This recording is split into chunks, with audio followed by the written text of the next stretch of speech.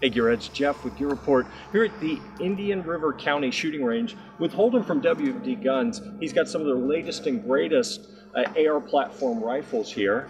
He's going to tell us about them, and then we're going to go over to the range, and I'm going to throw some uh, throw some lead through these, see how they work. Jeff, thank you for coming out here. Really appreciate you. And beautiful day in South Florida. This was our new rifle, and it's our first black rifle. The coating on it's proprietary, but let's just say it's black, okay? It's black and it's not your typical anodized, right? Right. It's not your typical anodizing on this rifle.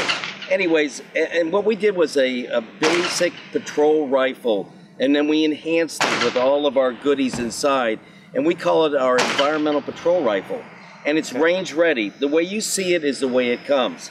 Magpul furniture, Magpul sights, our nitrometed melonited barrel, nickel boron BCG, and our nickel boron fire control group that's inside, hammer, trigger, and disconnect, as you can see.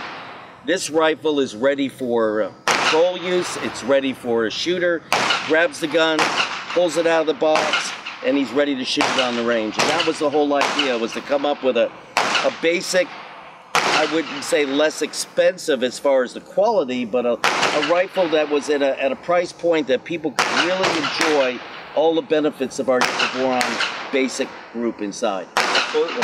Yeah, before coming over here, I shot this one a little bit. It's a pretty smooth rifle. We'll see more as I get over to the range and put more rounds through it. Only put a few through it so far. Um, but yeah, I mean, as far as, uh, you know, one of the questions I get quite often is, you know, hey, I need an AR, I have a huge budget. What's going to be a, a nice kind of starter budget AR, but not something that I'm going to feel like I have to upgrade immediately. Right. Um, so far, this, this looks like it, has got some of the upgrades baked in, so it might be a good starting place for people. We're gonna we're gonna work it out a little bit more and see.